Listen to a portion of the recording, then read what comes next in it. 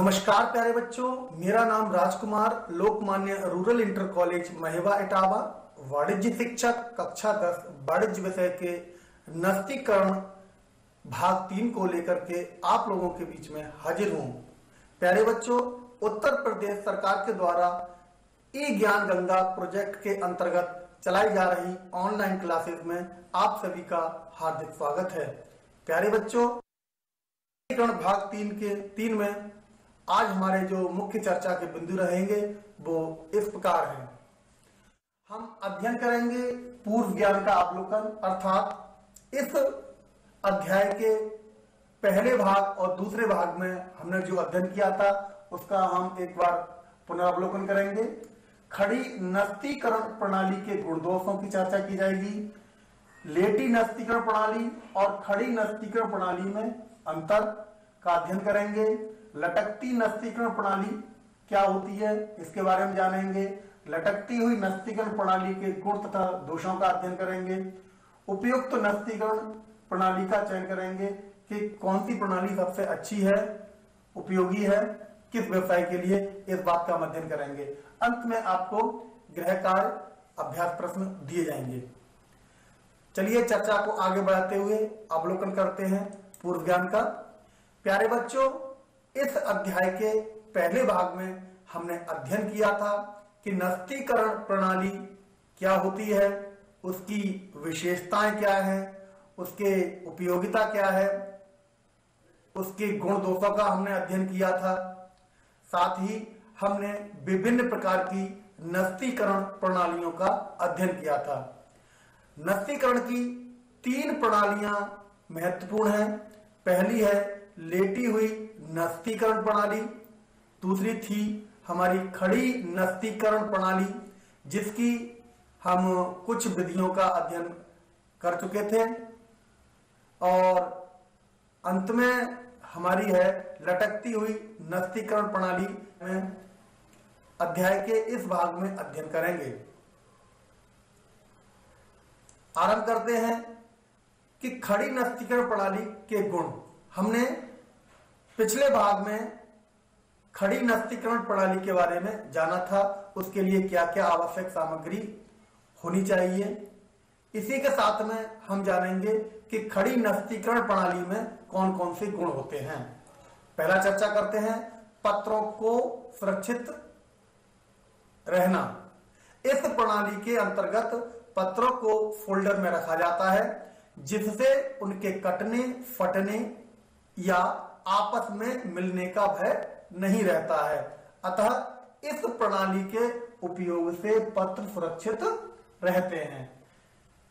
प्यारे बच्चों, जैसा कि हम आपको पूर्व में बता चुके हैं, जो लेटी हुई नस्तीकरण प्रणाली होती है, उनकी सारी विधियों का अगर हम अध्ययन करते हैं तो पाते हैं कि खड़ी नस्तीकरण प्रणाली में लेटी हुई नस्तीकरण प्रणाली की तुलना में पत्र अधिक सुरक्षित रहते हैं।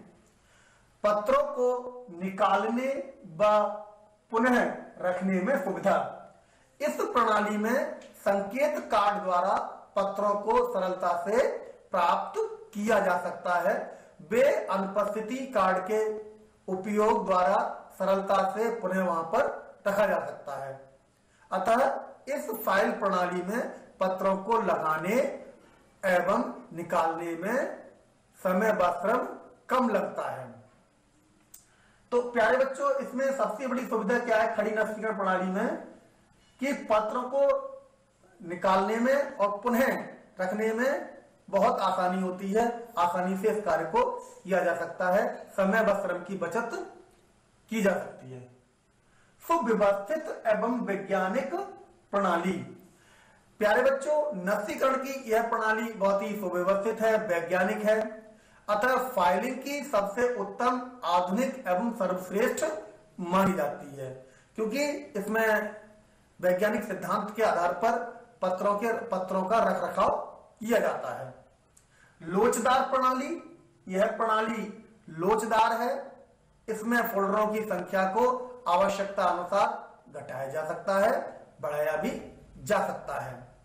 अर्थात, थोड़ी महँगी अवश्य होगी लेकिन आवश्यकता अनुसार हम कैबिनेट को खरीद करके, अलमारियों को खरीद करके पत्रों को अधिक से अधिक मात्रा में रख सकते हैं। गोपनीयता की बात करें तो कह सकते हैं कि खड़ी नस्तीकरण प्रणाली का सबसे बड़ा गुण होता है, वो गोपनीयता होता है।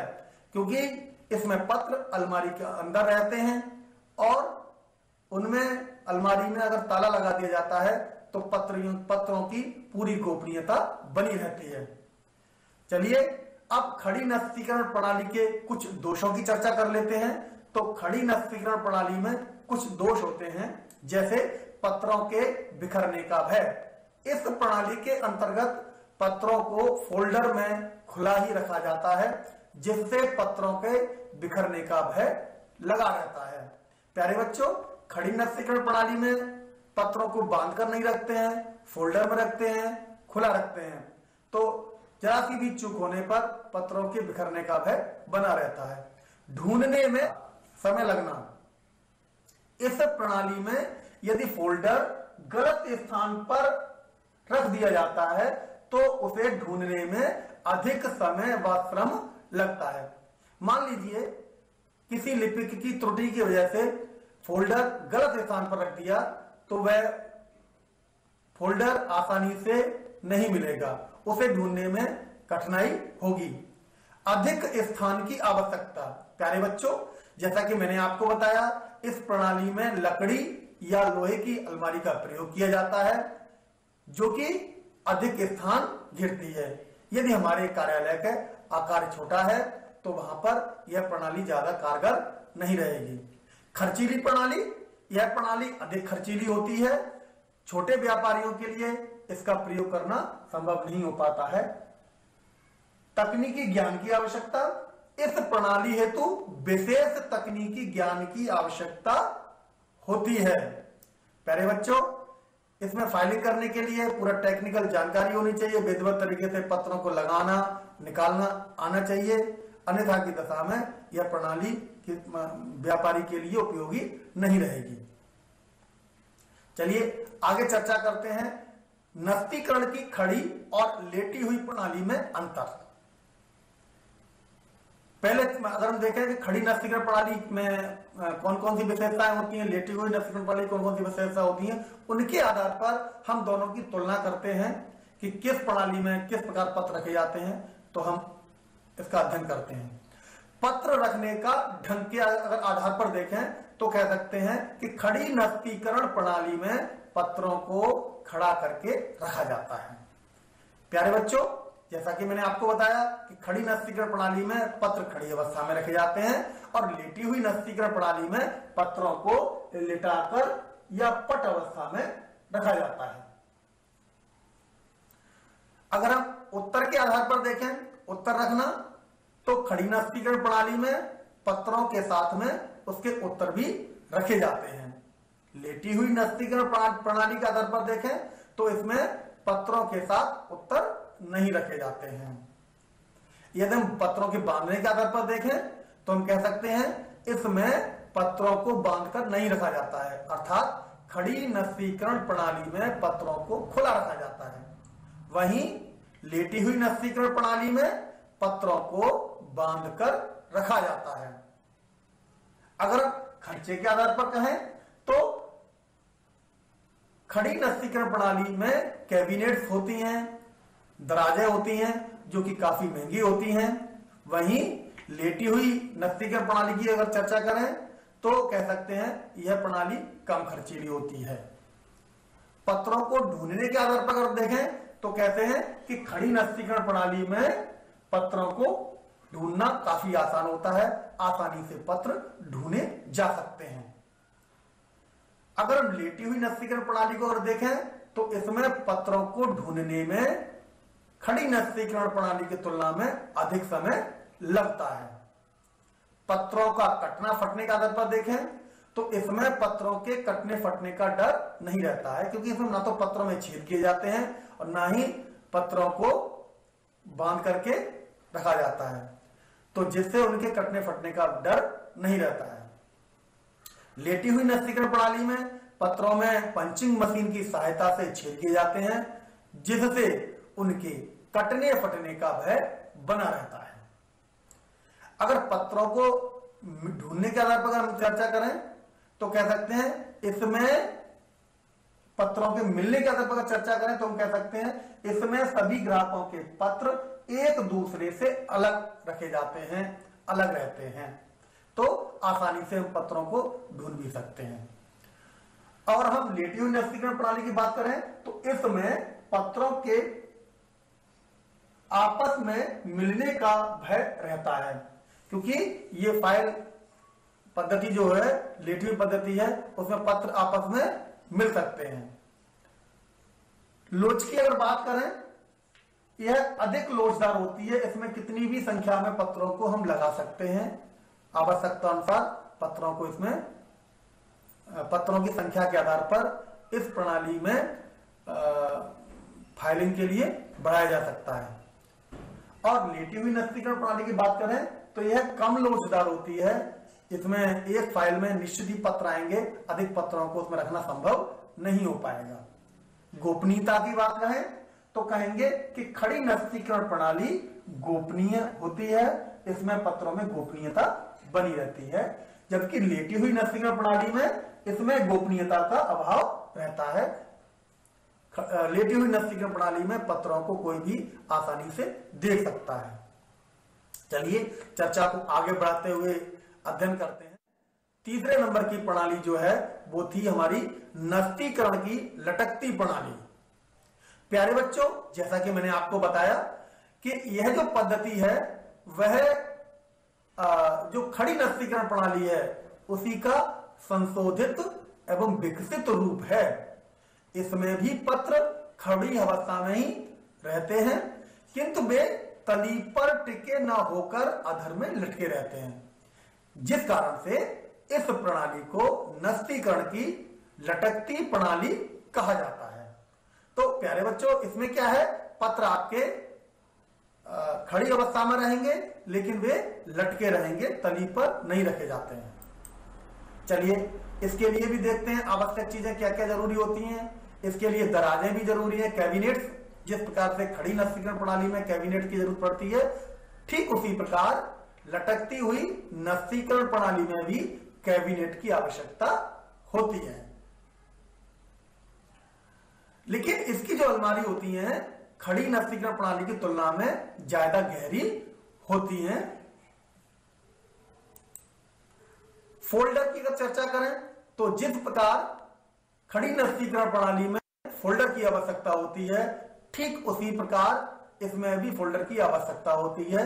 किंतु जो लटकती हुई नस्तीकरण प्रणाली होती है, उसके फोल्डर खड़ी नस्तीकरण प्रणाली से भिन्न होते हैं, जिनका एक सिरा दूसरे से बड़ा होता है, जिसके रंग भी भिन्न भिन्न होते हैं। जैसा कि आप चित्र में देख रहे हैं, रंग भी डिफरेंट कलर की ये फाइलें होती हैं। तो कह सकते हैं कि इसके एक सिरे पर धातु की छड़ लगी हो रहती है, जो दूसरे किनारे तक जाती है, जिसमें दराजें, अलमारी की दीवार तथा फोल्डर खानों में लटके रहते हैं।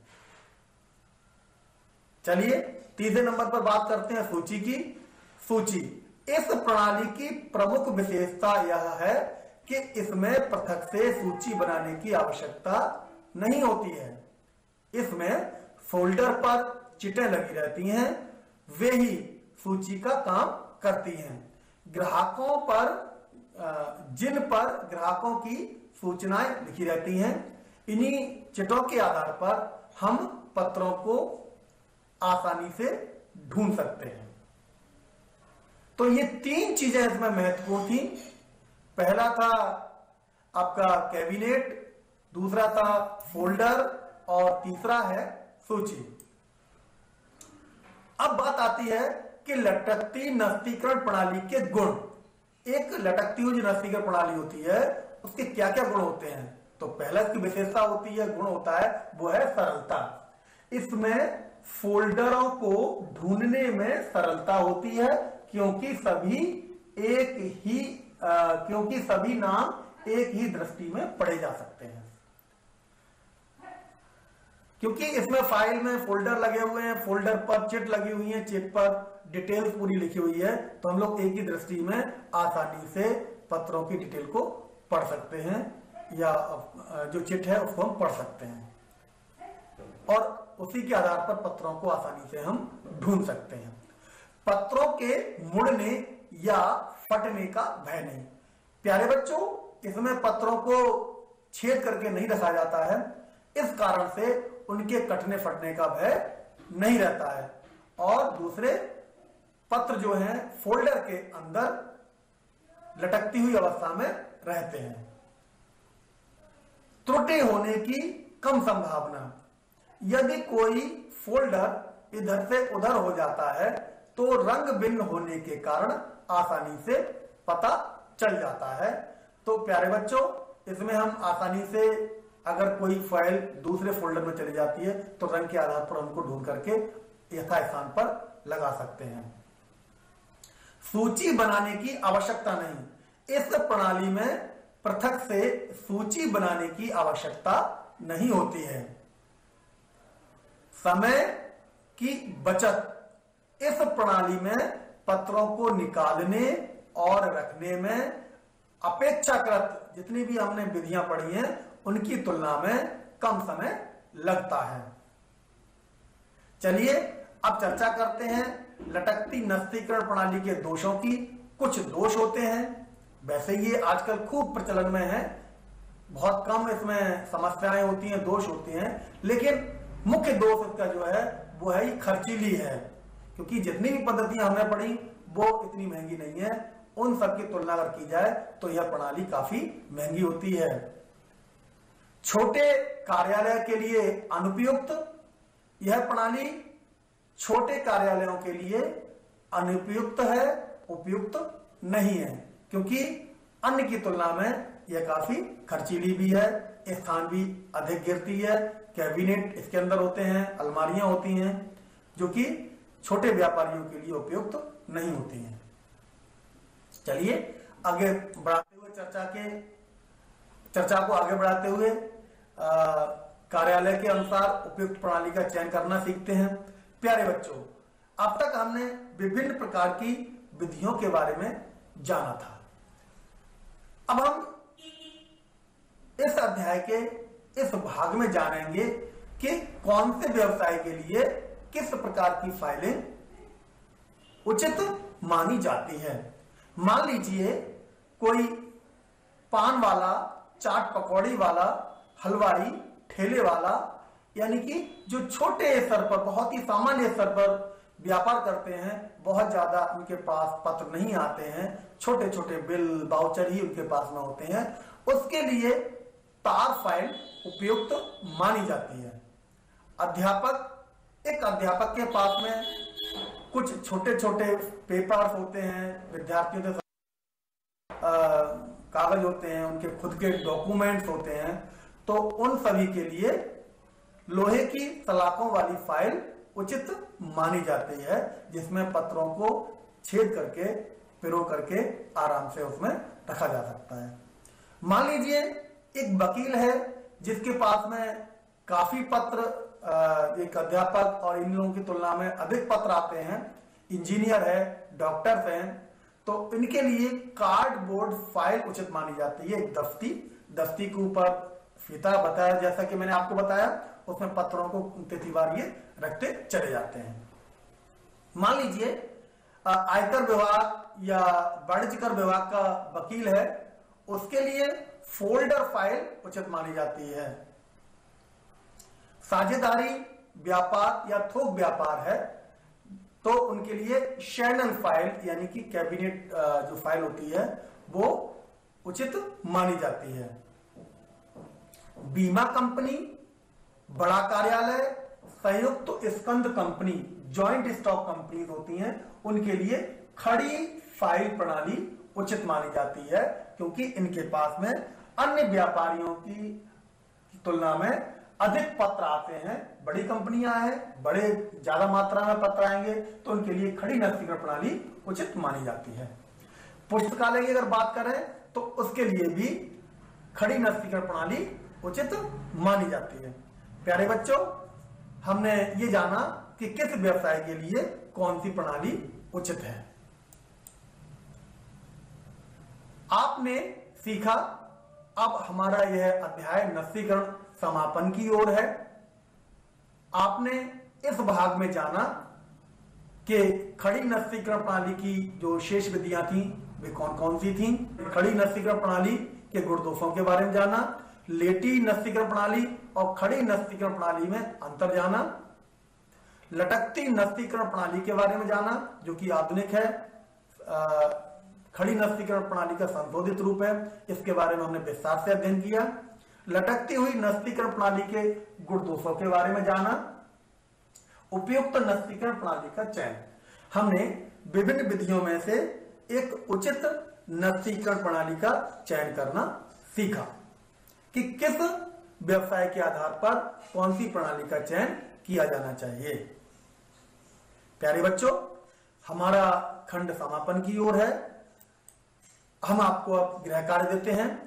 नस्तीकरण की खड़ी और लेटी प्रणाली में अंतर लिखिए। प्यारे बच्चों, बोर्ड एग्ज़ाम में यह प्रश्न अक्सर पूछा जाता है कि नस्तीकरण की खड़ी और लेटी हुई प्रणाली में अंतर लिखिए। तो आप इसको अनिवार्य रूप से तैयार कीजिए। परीक्षा में उपयोगी रहेगा और आपके व्यवहारिक जीवन में भी यह प्रश्न लाभकारी होगा। खड़ी नस्तीकरण प्रणाली की आवश्यक सामग्री का नाम लिखिए। एक खड़ी नस्तीकरण प्रणाली में क्या क्या होना चाहिए? जैसा कि मैंने आपको बताया, एक कैबिनेट होनी चाहिए फोल्डर होने चाहिए। फोल्डर के साथ में एबसेंट कार्ड या अनुपस्थिति कार्ड होना चाहिए, संकेत कार्ड होने चाहिए, उसके बाद में स्थानांतरण पेटिया होनी चाहिए। तो इनके नाम लिखिए तो आप इसको आसानी से कर सकते हैं। प्रश्न यह भी परीक्षा में पूछा जाता है। अनुपस्थिति कार्ड का प्रयोग किस विधि में किया जाता है? तो प्यारे बच्चों, अनुपस्थिति कार्ड का प्रयोग खड़ी नस्तीकरण प्रणाली के अंतर्गत किया जाता है। निम्नलिखित के लिए उपयुक्त विधि का नाम लिखिए। सरकारी कार्यालय में कौन सी विधि उपयुक्त रहती है?